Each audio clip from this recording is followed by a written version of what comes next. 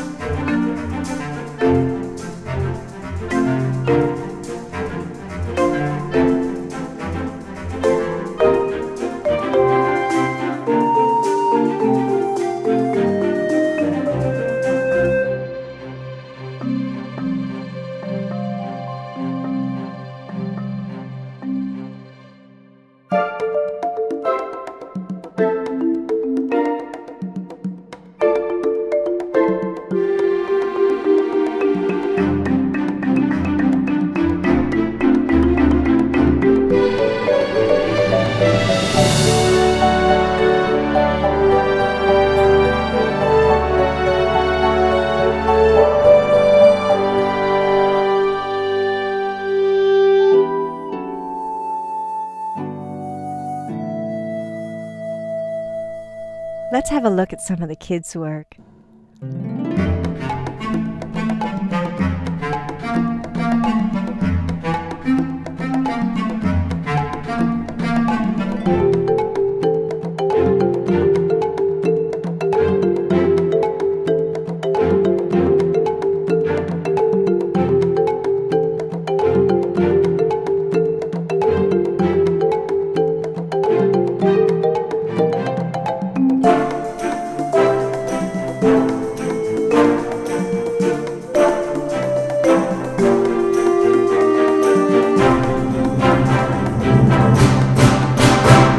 If you like this idea, please give it a thumbs up and don't forget to subscribe for more ideas for your lessons.